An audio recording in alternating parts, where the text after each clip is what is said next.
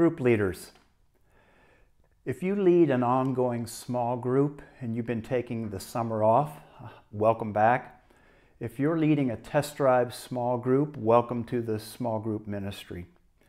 This coming Sunday, September 30th, is the beginning of our fall sermon series. I think most of you probably already know by now. The theme is Echo, and I think most of you probably already know by now that this is also a church initiative. So I want to cover a few things with you.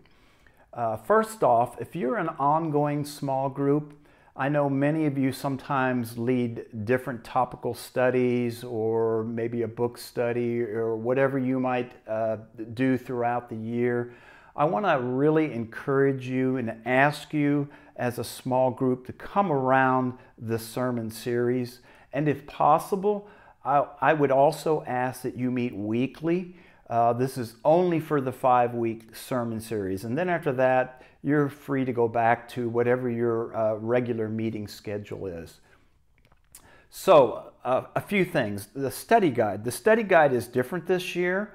Um, rather than downloading the study guide from the website on Sundays like you would normally do, the study guide has been written in advance. All five weeks uh, have already been written. It is actually in the Echo booklet that will be handed out this Sunday. So um, actually, I will send you an electronic version so that you have it before that. I'll send that along with this video and you can look at it. A couple things you just need to know. Number one, it's a little shorter. Um, it's only about four questions uh, in the study guide. Also, the questions are a little more general in nature, obviously. I wrote this before the sermon.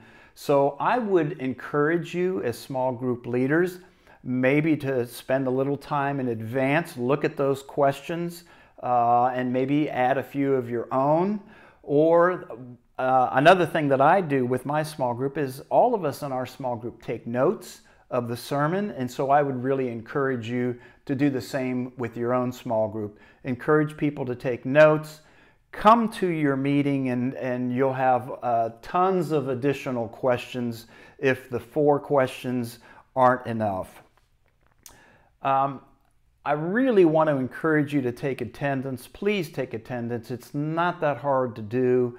Um, you can do it with your smartphone. It is really the only way I get a peek into what's going on in your small group, and it's the only way I can really get uh, an idea on what the level of participation is and how that uh, goes throughout the sermon series. So please do that. I'm including a link uh, to a video that shows you how to do it on your smartphone. It really is easy to do and only takes about 30 seconds. So please help me out with that.